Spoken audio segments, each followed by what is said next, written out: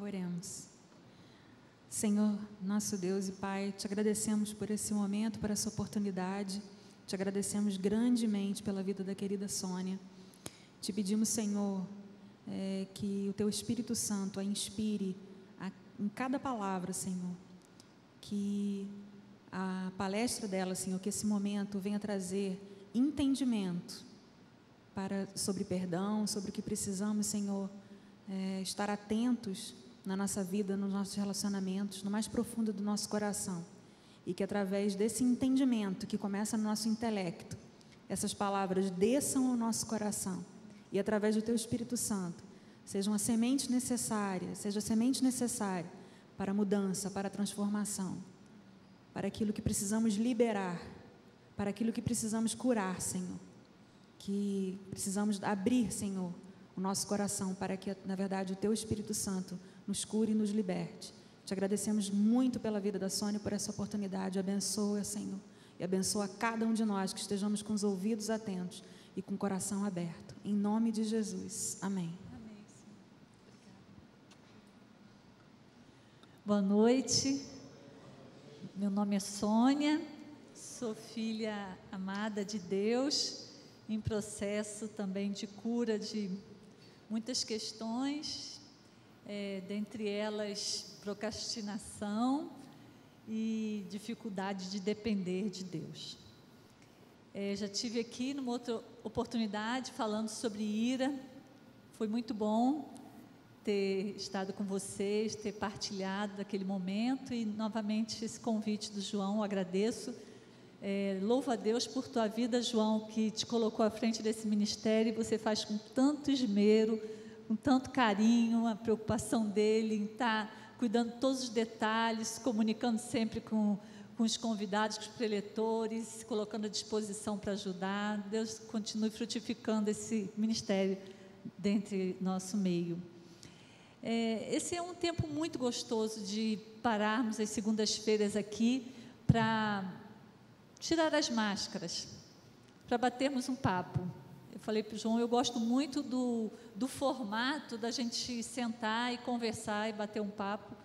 É, é o que eu mais gosto de fazer na minha profissão, não, não, não posso exercê-la em tempo integral, mas é de estar conversando com as pessoas e as ouvindo.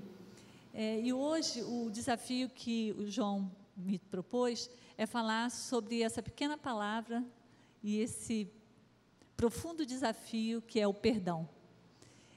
Eu fiquei pensando é, o que eu poderia falar que vocês já não soubessem sobre perdão, que vocês já não tivessem ouvido de sermões, de escolas bíblicas, de palestras aqui mesmo, de livros que vocês já devem ter lido, o que de textos bíblicos decorados, memorizados, o que nós não saberíamos sobre o perdão que pudesse ser dito. E, e de fato, eu acho que não será essa novidade, como a irmã Marta orou bem aqui, no sentido intelectual. Eu acho que é deixar que essas palavras tragam um novo coração, como nós cantamos aqui, uma nova atitude diante de Deus, diante da vida, diante das pessoas com quem nós nos relacionamos.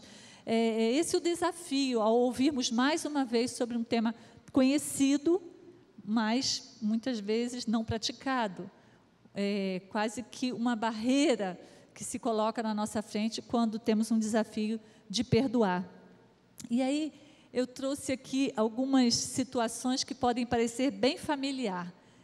É, podemos pensar, vou ter que lendo daqui que não sei se vocês vão conseguir ler daí. Está dando para ler? Ah, aqui está bem melhor do que na TV. É,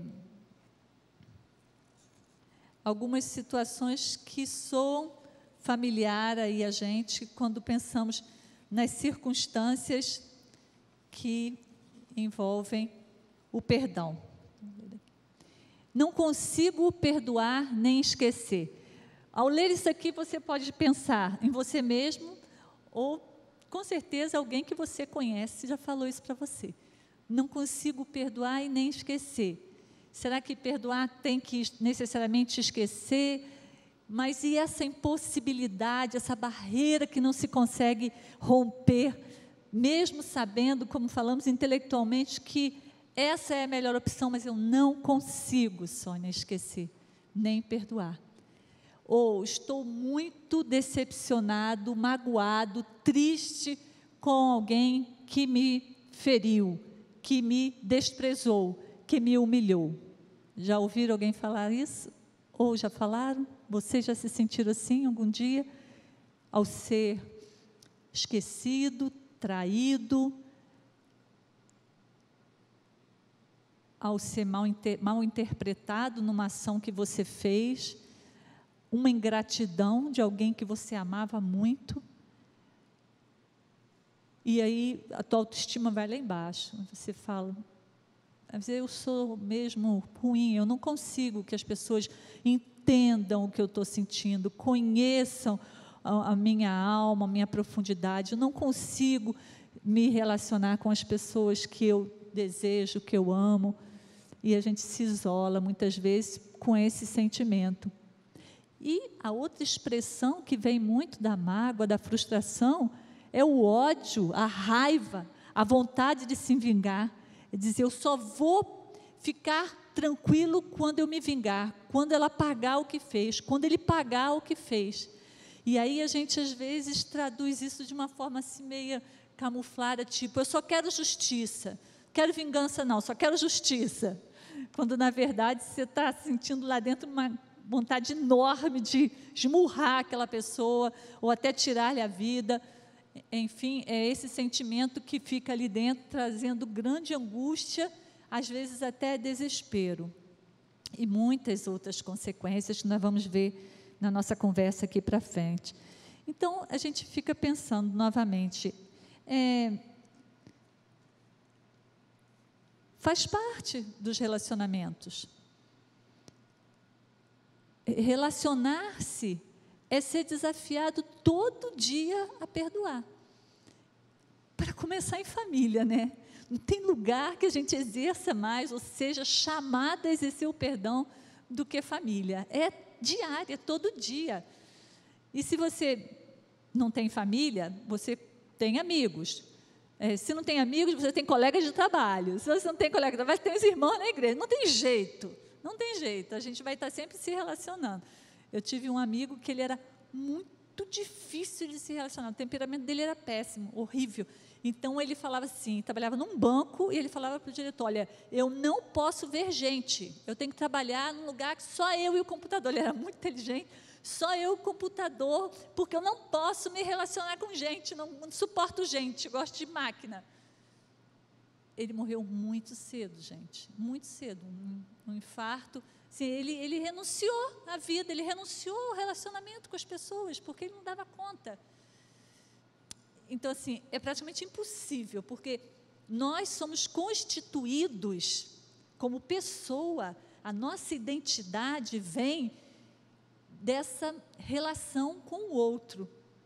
Antes de nós nascermos, nós já éramos, porque já era na imaginação de uma família do filho que ia ter. Antes de você nascer, você já tinha nome, muitas vezes. Tem pessoas que até depois que olha para a carinha do bebê que escolhe, mas na maioria das vezes, antes de nascer, você já tinha um nome. Você já trazia o peso de uma história familiar, boa ou ruim. Você já trazia o desejo de alguém para a tua vida. Eu quero que ela seja assim, eu quero que ele seja assado, eu quero que ela faça isso, eu quero que ele seja aquilo, antes de nascer. Então, assim, nós somos constituídos como pessoa na relação com o outro. Fora disso, nós não somos. É, é, o ser humano tem essa característica da identificação, da identidade humana pela identidade dada no relacionamento. E é claro que a gente, como cristão, entende que Deus está ali nessa criação, Deus está colocando a sua mão na nossa história também e nos constituindo como pessoa, mas depois Deus vai nos recriar em Cristo. Aí é um novo coração, uma nova história, uma nova filiação. Eis que faço tudo novo. Mas nós trazemos também essa nossa história. Agora, essa é uma questão psicológica, espiritual ou cultural? Perdoar ou não perdoar? Ou os três? todas as respostas acima. Ou os três. E aí poderíamos acrescentar até outras coisas, genéticas, né? hereditárias, portanto. É, por que umas pessoas conseguem perdoar e outras não conseguem? Será que elas não querem? Somente o não querer? Ou tem algumas outras questões que nos atravessam, como eu estava falando, da nossa história, que vão interferir também na nossa capacidade ou não de perdoar. Do ponto de vista psicológico, é, nós vamos traçar algumas considerações, mas antes, porém, eu queria só reafirmar essa verdade. A arte de conviver está relacionada à capacidade de pedir perdão e perdoar. Temos que nos ajudar a nos levantarmos sempre. Conseguimos isso muitas vezes através do perdão. Então, como eu falei, é na convivência, é no relacionamento que nós vamos é, aprendendo a perdoar. Vou dar aqui um testemunho. Esse aqui é um lugar que a gente pode contar todas as, as nossas fraquezas, né? Me sinto muita vontade nesse lugar. Ontem tinha terminado de preparar a palestra, preparei as imagens ontem, e aí minha filha chegou e falou uma coisa que me magoou muito, magoou muito, uma ingratidão, né? Filho, como diz pastor Israel, não existe ser mais ingrato do que filho. Pastor Israel já pregou isso algumas vezes aqui, Dia dos Pais, Dia das Mães. Mas a gente ama e por isso a gente sofre, né? Senti muito o que ela falou e eu errei no tom, errei na agressividade, errei tudo, sabe? Pá, pá, pá, pá, pá, pá. Tudo aquilo que eu falei para vocês da ida da outra vez, eu esqueci e fiz, né? Aí tá, fui dormir, ela burrada, fui dormir, eu fui dormir, eu falei, caramba, aquilo que Deus fala lá, né? Não se põe o sol sobre a vossa ira, mas não deu para pedir perdão ontem de jeito nenhum. Aí eu falei, como é que eu vou falar de perdão à noite? Sempre Deus bota a gente nos testes assim, né? Aí hoje de manhã cedo, nós nos encontramos, ela não estava passando bem, eu dei um remedinho e tal, aí era oportunidade. Aí eu falei, filha, me perdoa pelo que eu falei ontem, o tom. Aí ela, é, me desculpa aí também, mãe. Mas assim, o perdão tem essa capacidade de quebrar mesmo a, a barreira, né? Foi impressionante assim, uma palavra, me perdoa e a atitude dela mudou. Ela tinha parte dela que ela precisava também reconhecer e ela fez um me desculpa lá, que é um pouquinho diferente do me, de perdão, né? A gente não vai aprofundar isso, mas tem uma uma, às vezes uma defesa no me desculpa, é tipo assim, se eu errei, me desculpa, né? Não é, não é bem, não tem bem consciência do que eu falei, fiz alguma coisa ruim. E o perdão, ele tem uma carga mais é, robusta de conscientização e de arrependimento de, de fato, ter feito algo que eu não quero fazer de novo. Provavelmente fará, faremos. Mas o perdão tem que ter essa, essa consciência de que é algo que não foi bom para o nosso relacionamento e não pode continuar se repetindo. Porque se a gente vai num crescente desse, desse estado de amargura, daqui a pouco isso, a Bíblia diz, se torna uma raiz que se torna raiva, que se torna desejo de vingança, que se torna anulação do outro, tudo aquilo que a gente já conhece. Então, a arte de conviver necessariamente vai passar pelo perdão. Então, do ponto de vista psicológico, eu trouxe quatro considerações aqui. Primeira, precisamos desesperadamente ser aceitos e amados, porque somos seres relacionais. Na maioria das vezes, quando as pessoas nos ferem, elas estão pedindo para ser amadas.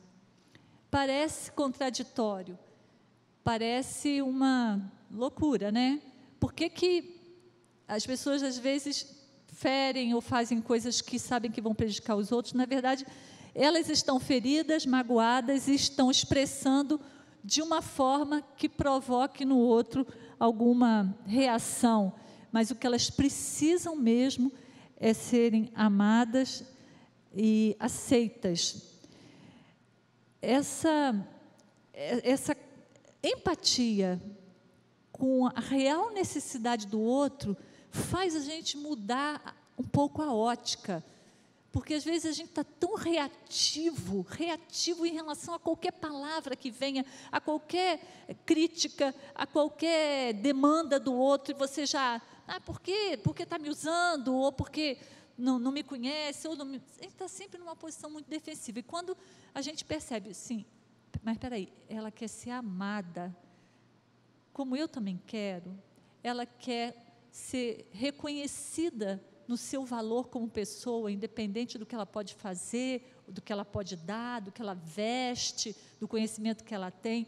Isso dá um choque na gente. Experimenta pensar isso em alguma situação de alguém que você tem certeza que aquela pessoa é má, aquela pessoa manipula, aquela pessoa está querendo se é, tirar vantagem de você ou de alguma coisa relacionada a você e você pensa assim: mas essa pessoa precisa mesmo de quê? De que ela mais precisa? E aí isso muda o nosso ponto de vista. Então, se a gente vai pensar do ponto de vista psicológico, por enquanto, né? Todos, todas as pessoas, aquelas mais terríveis que você imagina, no fundo ela precisa ser amada e ser aceita. Então, quando a gente se coloca numa posição empática de se relacionar com alguém pensando isso, nós já demos um passo em direção à capacidade de perdoar. Mas a capacidade de perdoar se diferencia de pessoa para pessoa de acordo com as suas experiências. Aquela pergunta que eu fiz: por que, que um facilmente perdoa e outro não?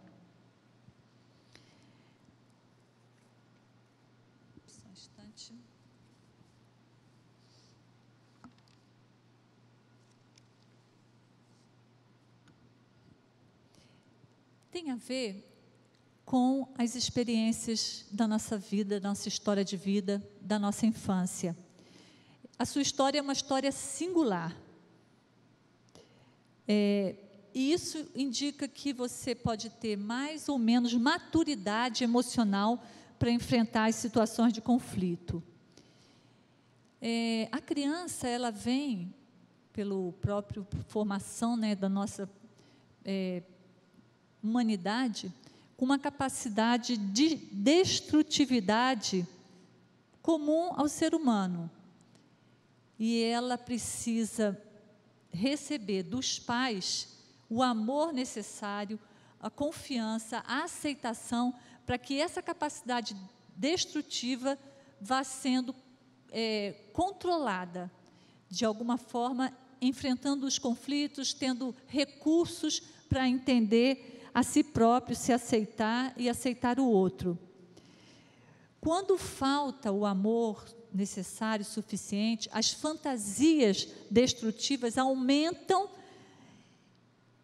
e a criança é, tem menos capacidade de reparação dos danos que ela causa ou que são causados a ela. Quando adultos terão menos capacidade de reflexão e implicação nos seus atos, menos capacidade de perdoar a si e aos outros. Então, do ponto de vista psicológico, essa é uma percepção de que a história da pessoa é, influencia na sua bagagem emocional para que ela possa perdoar ou outros desafios relacionais que ela vai encontrar na sua vida. Então, e, aí, o que é que os, os pais, com amor, vão fazendo? É dar um contorno seguro para as emoções, de forma que ela saiba lidar com os conflitos. De forma que quando ela erre, ela não tente se autodestruir. Porque não sei se vocês já perceberam, experimentaram assim a capacidade que a gente tem em nós mesmos de nos recriminar, de nos é, punir e de nos destruir.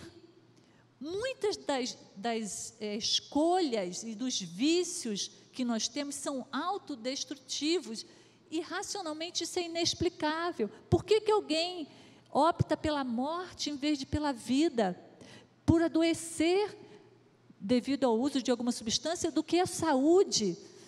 E, e todos nós somos contraditórios.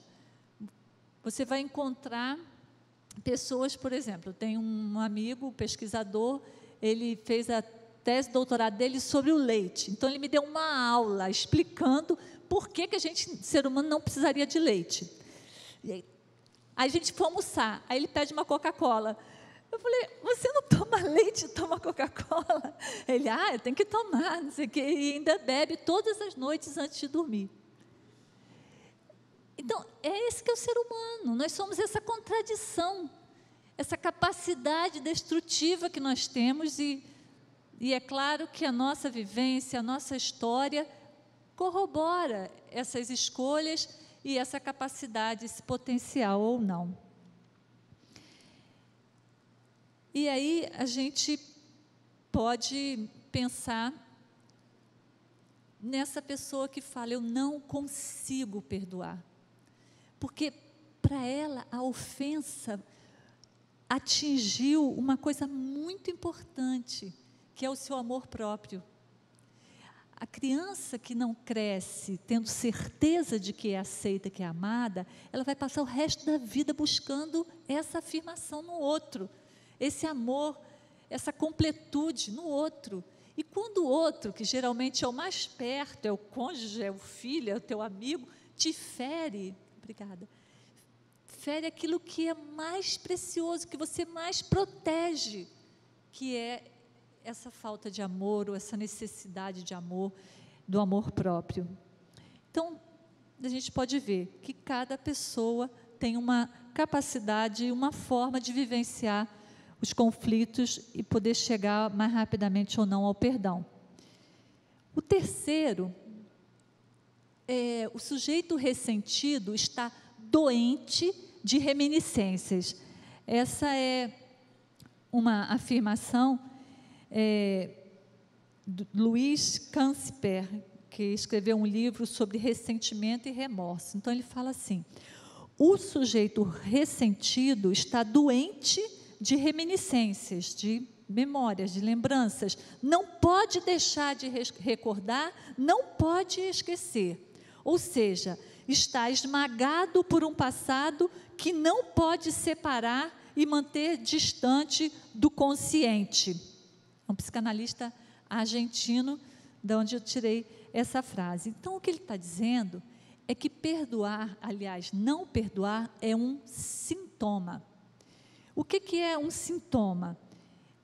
É aquilo que aparece de alguma coisa que é, está fazendo, causando sofrimento. No caso, o que causa sofrimento é uma posição dessa, pessoa, a gente chama desse sujeito, em relação ao outro, como é, sujeito ao outro, é, na condição de estar sempre reivindicando do outro alguma coisa, e é uma posição sem saída. Então, assim, quando, quando diz que o, o, sujeito ressentido está doente de reminiscências, é porque o tempo todo na sua vida ele está marcado por aquela dependência emocional, aquela sujeição ao outro que ele não perdoa. E fica numa situação sem saída. E sabe o que eu observo? Em casos graves, assim, de mágoa, de ressentimento, por 20, 30 anos, sei se você conhece alguém assim, mas existem pessoas que carregam uma, uma mágoa por tanto tempo e a vida dessa pessoa parece que parou, parou ali, naquela estação. Tem uma música que eu gosto, fala da despedida de um casal, que fala assim: Você partiu e, e eu fiquei na estação. E você foi ver outras paisagens mas o meu coração, embora finja fazer muitas viagens, está parado batendo naquela estação. Acho linda essa poesia, né? E aí me, me, vem essa imagem de alguém que não perdoou, que tem uma mágoa por tantos anos. É como se o teu coração ficou, ficasse parado batendo na mesma estação, esse tempo todo. Sem querer sair dali, não liberando o perdão, não permitindo que o outro vá embora mesmo porque você é quem está prisioneiro, na verdade, desse sentimento, dessa mágoa. por isso doente de reminiscências. E não só de reminiscências.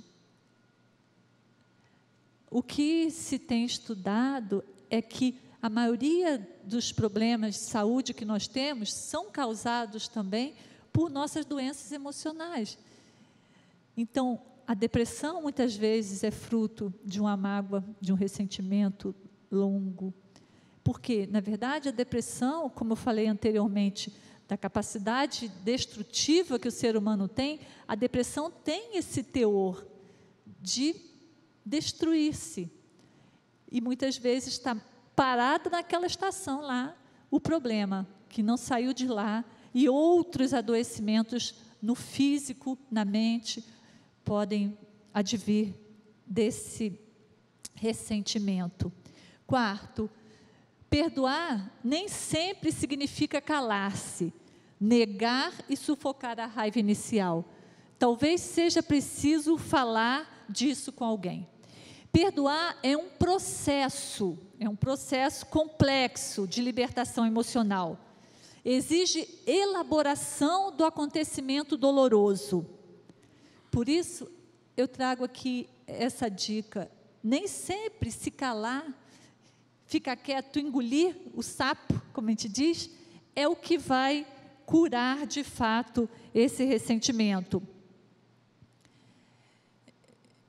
É claro que é preciso saber quando falar, onde falar, com quem falar. Tudo isso, né, exige muito da gente. É um processo doloroso mesmo.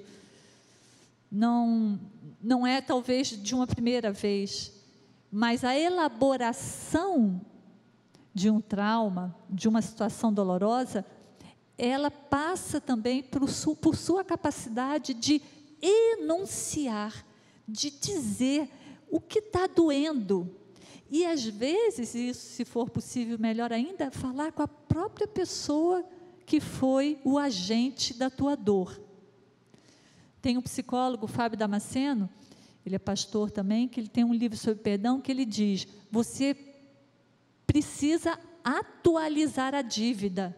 Então, antes de perdoar, é importante fazer a conta. Olha, olha o que você me deve.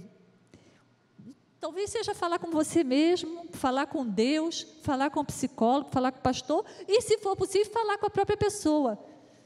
E depois de ver tamanho dessa dívida, aí tomar uma decisão, que a gente vai ver mais um pouquinho à frente, que o perdão é uma decisão, mas precisa muitas vezes passar por essa elaboração, falar disso. Não,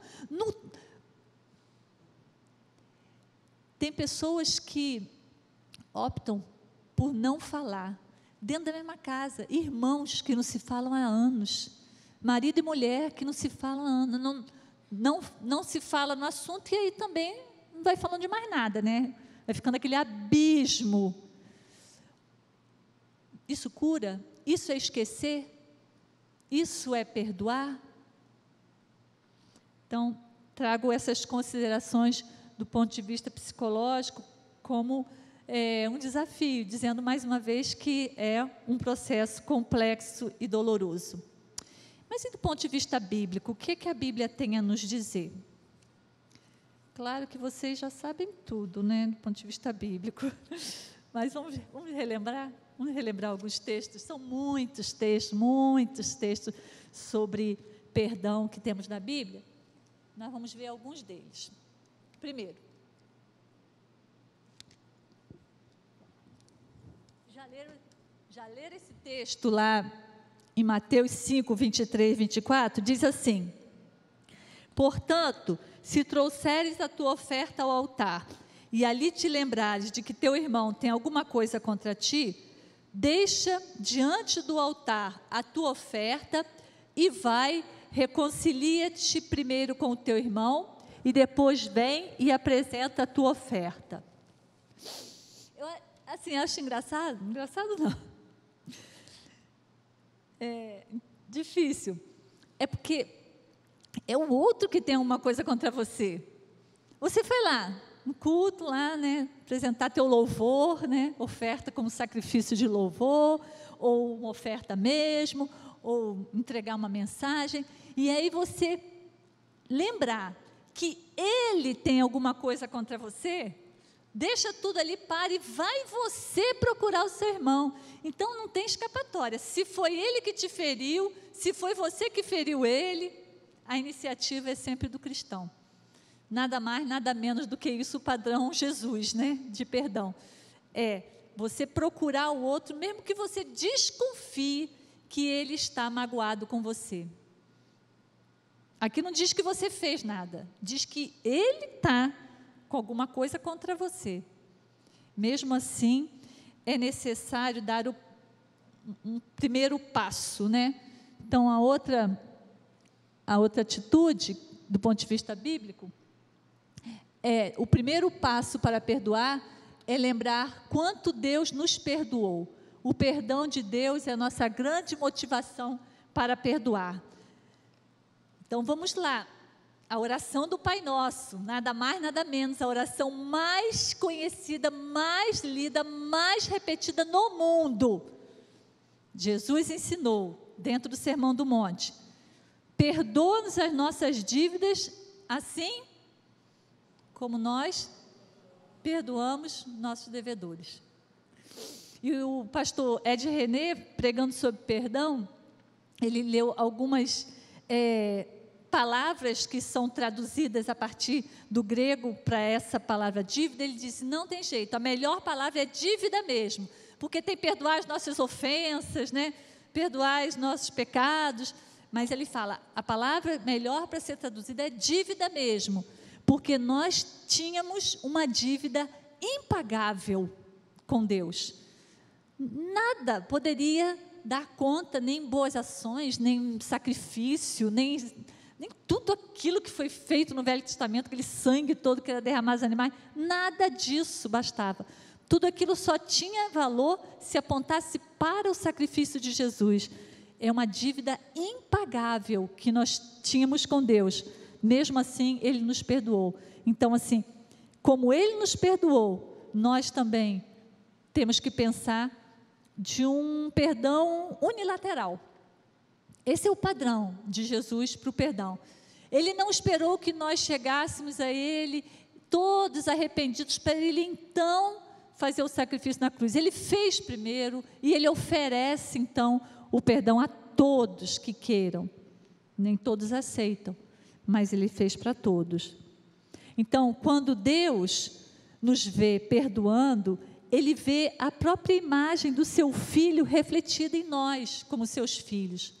Aquele projeto de Deus lá do Éden, criados à imagem de Deus, quando a, hora que a gente perdoa Deus, o, o, nosso irmão, o nosso próximo, o nosso inimigo, o nosso filho, o nosso marido, Deus olha para a gente e vê aquele projeto da imagem que Ele idealizou concretizada, porque Ele vê a imagem de Jesus na gente no momento que a gente perdoa. Não é lindo isso? Então, qual é a medida desse amor? Qual é o tamanho? Aí aquele texto conhecido que Pedro, cheio de, né, coragem, de orgulho, sei lá, fala: então, Senhor, temos que perdoar sete vezes, não é só uma, né? Não, são sete vezes, achando que ele encheu a boca, número perfeito, sete.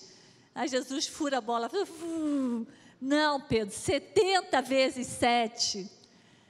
Depois de 490 vezes que você perdoou, você vai perdoar o que vier, né? Parou de contar lá pelos 70, né? 70 vezes 7. Não tem medida. O amor de Deus, ele não está é, mesquinho. Ah, eu perdoo esse tipo de pecado, mas esse aqui eu não perdoo, não. Como muitas vezes a gente quer fazer isso na igreja, né? A gente fala, tem pecadinho, tem pecadão. Falar mal do irmão é pecadinho adulterar é pecadão, né? Então a gente dá, mas no amor de Deus não, é, não tem medida esse perdão e, e não tem limite, não tem uma conta. Aí você fala, ah, Sônia, mas eu não tenho essa capacidade de perdoar tantas vezes assim. Novamente, é uma atitude. Quando Jesus contou aquela parábola de que um homem devia X, ou mil denários, né, no dinheiro da época, lá, quantos fosse, ao rei, e o rei perdoou. Ele saiu feliz da vida. Encontrou alguém que devia a ele centavos. E ele não perdoou.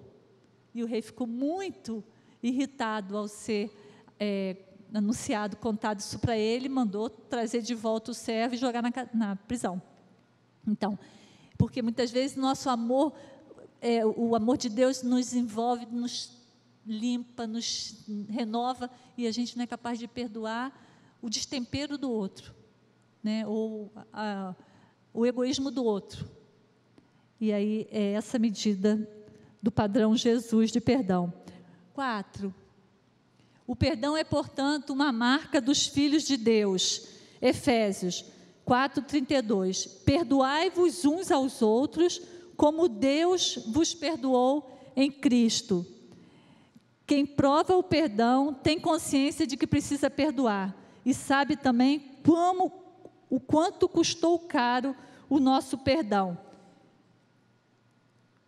O relacionamento, aqui Paulo está falando para a igreja, perdoai-vos uns aos outros, e também para a nossa vida de modo geral. É, é o que é a regra, é o que deve acontecer todo dia, porque é isso que nos vai diferenciar de quem tem, quem não tem a salvação, que tem ou não tem a vida eterna, quem experimentou essa marca dos filhos de Deus, o perdão.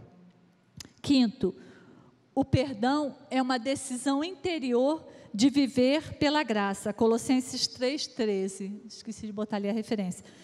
Suportando-vos uns aos outros e perdoando-vos uns aos outros, se alguém tiver queixa contra outro, assim como Cristo vos perdoou, assim também vós perdoai uns aos outros. Na medida que a gente convive, a gente começa a conhecer os defeitos do outro, a se irritar com aquelas coisas que muitas vezes são as nossas fraquezas que o outro revela, e isso irrita a gente profundamente. Mas somente nessa Nesse atrito do relacionamento é que é possível aparecer as chagas e elas serem curadas, serem limpas, né? Por ordem no próprio interior pode ser um passo para tornar possível o perdão. Essa necessidade de se conhecer como vocês vivem aqui no Celebrando a Recuperação, de partilhar, de confessar os pecados uns aos outros, de admitir as fraquezas e o erro. Tudo isso é tratamento interior, importantíssimo para que a gente possa dar o passo possível de perdoar. Sabe por quê? Quando eu conheço as minhas fraquezas e reconheço, de uma certa forma eu estou aplacando um pouco esse juiz dentro de mim que está o tempo todo, que a gente chama de superego, que está o tempo todo te julgando e te acusando. E aí eu posso ser mais paciente com o erro do outro. Eu posso é, condescender, esperar um pouco mais pelo tempo do trabalho do outro, da, da obra interior do outro, que Deus está fazendo no outro, na outra pessoa. Então, assim, ao, ao tempo que nós estamos aqui nos tratando, nós estamos possibilitando que a gente seja também mais capaz de perdoar. Por fim, eu coloco dessa forma: uma pessoa que ama faz-se sempre pequena e vulnerável, encontra-se perto dos outros. É mais humano amar e sofrer muito ao longo da vida. Às vezes a gente acha que a gente tem que ser super crente, super bem, super feliz, super testemunha, né? a gente fica exigindo da gente essas coisas todas. Mas na Bíblia é o contrário. Quando eu sou fraco, eu sou forte, porque a graça de Deus é que vem me completar o que me falta. Quando eu amo, eu me vulnerabilizo, porque eu permito que o outro me conheça e com isso ele pode me ferir. Mas se eu não amar, eu não seria humano. E eu não vou experimentar a humanidade, do ponto de vista que da, da, da criação de Deus na sua plenitude. Jesus foi um humano completo, perfeito, sem falha, sem erro. E, e ele coloca para a gente o desafio da gente ser cada vez mais espiritual e humano. É um grande desafio. Podemos estar unindo essas qualidades. E aí eu trago à memória a história de José para acabar.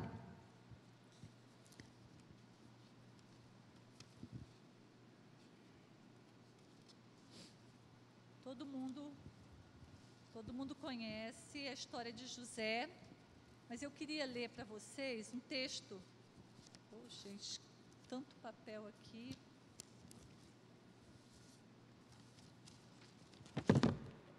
É um texto da bênção.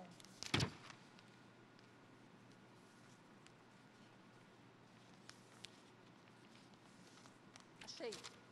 Um texto da bênção do pai de José. Quem era? Jacó. Todo mundo conhece a história de José. Ele foi vendido pelos irmãos para como escravo para o Egito. Lá ele foi é, tentado uh, pela esposa do Potifar, que era o Bambambam Bam, Bam, lá do faraó, né, o braço direito do faraó. E ele resistiu à tentação, fugiu, foi acusado pela mulher de ter tentado abusar dela, foi para a cadeia ficou lá muitos anos, interpretou lá o sonho do copeiro e falou para o copeiro: Não esquece de mim quando você voltar para a presença do faraó. O copeiro esqueceu, passaram-se muitos anos, ele continuou lá, e depois ele se torna, pela interpretação que ele faz do sonho do faraó, o grande primeiro-ministro lá do Egito, até que chega aquela cena maravilhosa que os irmãos vão comprar comida e ele reconhece os irmãos, e aí é a hora da vingança. Né? Agora sim vão comer na minha mão, exatamente como eu tinha sonhado quando era adolescente. Vocês vão se curvar diante de mim, a lua e a estrela vão se curvar, que era o pai, a mãe e as outras estrelas, os irmãos. Então, sabe, que, que gostinho da vingança que podia dar naquela hora no José, né? Ele por cima, falando em outra língua, ele era interpretado, tinha intérprete, tudo, os irmãos nem imaginavam. E aí a gente tem aquela história mais, depois de Jesus, é a história mais linda de perdão na Bíblia. Primeiro é Jesus lá da cruz falando: Pai, perdoa-lhes porque não sabe o que faz. Todos nós, né? Perdoa-os. Mas depois disso é José falando para os irmãos: Não se preocupem, todo aquele processo que ele fez de revelação, no final ele falou: Não chorem, não se preocupem, eu já perdoei vocês e começa a chorar também com ele. Chora tão alto que né, os outros todos que estão fora da casa ouvem. O perdão tem esse componente emocional. Muitas vezes a gente perdoa chorando, porque é doloroso. Muitas vezes a gente perdoa porque está decidido a perdoar. E eu acho que o caso de José era esse. Ele, ele não foi naquele momento que ele teve que decidir: vou me vingar ou não vou me vingar? Eu acho que nem, nem teve essa dúvida. Pelo relato bíblico, ele já no primeiro momento, quando ele reconhece, ele já se emociona, ele sai de perto, começa a chorar, porque ele já tinha uma decisão. E a decisão que ele tinha, a, a, a sua lógica que ele construiu para a sua vida é: Deus é soberano. Deus está no controle da minha vida. Pode vir a pior coisa, mas Deus está me guiando. Essa comunhão com Deus, essa capacidade de depender de Deus, que José apresentou em todos os episódios de tentação, de traição, de esquecimento, de tudo que ele passou, era: não, Deus está no controle da minha vida. E por isso ele recebe essa bênção aqui de Jacó, seu pai, na hora da morte. Olha que lindo. José, o pai chama todos os filhos, né, os doze, as doze tribos, que, que, da onde saíram as doze tribos, coloca cada um em volta e sai falando de cada um uma bênção. A maior bênção é de José, e é melhor. José é um ramo frutífero, ramo frutífero junto à fonte seus ramos correm sobre o muro. Os flecheiros lhe deram amargura e o flecharam e o odiaram. O seu arco, porém, susteve-se forte, e os braços de suas mãos foram fortalecidos pelas mãos do valente de Jacó, de onde é o pastor e a pedra de Israel. Pelo Deus de teu pai, o qual te ajudará, e pelo Todo-Poderoso, o qual te abençoará com bênçãos dos altos céus, com bênçãos do abismo que está embaixo, com bênçãos dos seios e da madre. As bênçãos de teu pai excederão as bênçãos de meus pais, Isaac e Abraão, até a extremidade dos outeiros externos. Elas estarão sobre a cabeça de José e sobre o alto da cabeça do que foi separado dos seus irmãos. Gente, que bênção linda que o pai dele transmitiu. José, você é um ramo frutífero e seus ramos vão se espalhar e vão crescer, e você vai ser muito abençoado, mais abençoado do que eu fui pelos meus pais, do que os seus irmãos serão, os seus filhos serão. Gente, tudo isso porque ele soube perdoar. A gente não tem como separar essa experiência maior da vida de José, que foi perdoar tantas ofensas e a principal dos seus irmãos, e Deus fazer dele tudo que ele alcançou. E depois dele ter sido o primeiro-ministro lá em Faraó, foi que Jacó é, proferiu essa bênção. Então ele foi mais ainda, mais e mais e mais. Então o desafio que fica para a gente hoje que eu trago é para a gente se perguntar. Aqui o último slide. Não, pode passar para o último. A quem preciso perdoar? Ao próximo? E aí, nesse próximo, você pensa quem poderia entrar.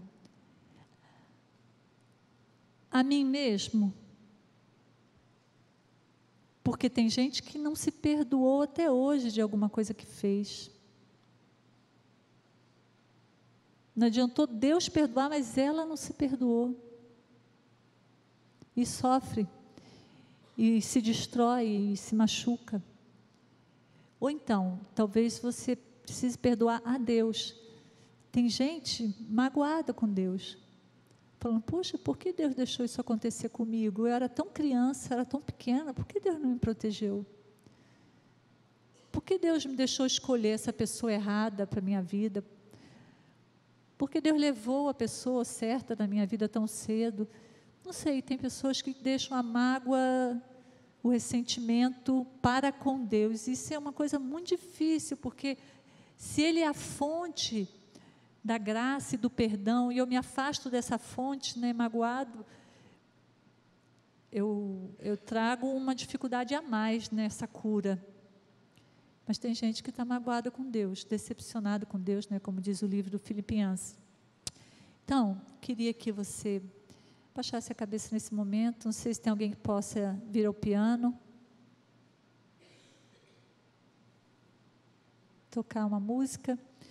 E aí você fazer essa pergunta para você mesmo: tem alguém que eu tenho que perdoar? coisas pequenas e coisas grandes, profundas, antigas, pesadas. Eu diria que você, por você mesmo, talvez não tenha capacidade, mas deixa o Espírito Santo perdoar através de você. Imagina, o amor dele é tão grande que ele orou pelos assassinos dele naquela hora, né? Pai, perdoa-lhes que eles não sabem o que fazem. Talvez a pessoa que mais tenha te magoado esteja precisando também ser perdoada. Perdão. Que um dia nos alcançou em Jesus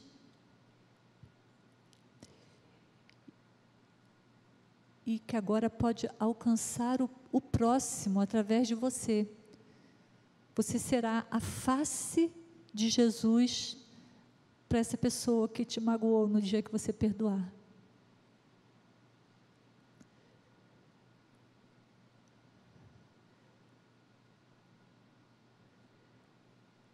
A vida é tão breve, tão tão rápida que não vale a pena a gente ficar ressentido, guardando uma mágoa que não vai se resolver, talvez, a não ser pelo perdão.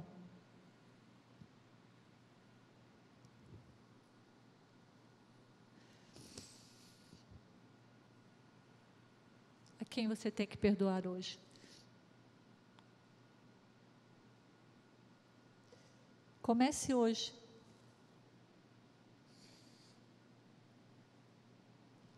Talvez você tenha que dar outros passos depois, procurar ajuda. Mas comece hoje,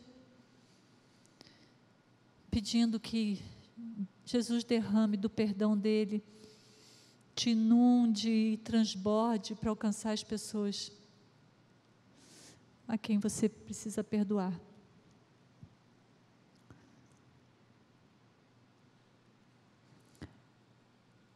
Pai querido, nós estamos diante do teu trono de graça e o Senhor diz na palavra para a gente buscar socorro na ocasião oportuna. E esse é o momento, Senhor, que nós nos colocamos diante do Senhor pedindo: traga nossa mente, ó Deus, nossa memória, aquilo que tem atrapalhado a nossa comunhão contigo, Senhor, que tem também nos afastado de pessoas a quem amamos ou que nem amamos, mas que precisam do teu amor, precisam conhecer a face de Jesus através do nosso perdão. Que seja uma decisão, Senhor, que cada um aqui possa tomar hoje. Senhor, me ajude a perdoar. Você completa aí o nome de quem você veio à tua mente. Me ajuda a perdoar aquela pessoa que me trapaceou, que me caluniou, que me roubou, que me feriu, que me traiu, que me diminuiu diante dos outros, que me abandonou.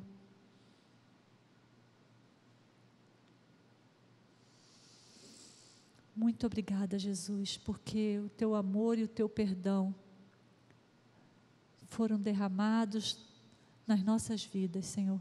Muito obrigada, Pai. Por causa disso, nós podemos andar de cabeça erguida, livres, livres, Senhor, porque o Senhor nos salvou e nos perdoou. Restaura, Senhor, relacionamentos, casais, famílias, Restaura, Senhor, com o perdão, esse bálsamo, Senhor, maravilhoso, para unir, para azeitar as relações, Pai. Abençoa Deus aqui no Celebrando a Recuperação, cada um que teve coragem de entrar nesse processo, Senhor, de pedir, Senhor, mexe comigo,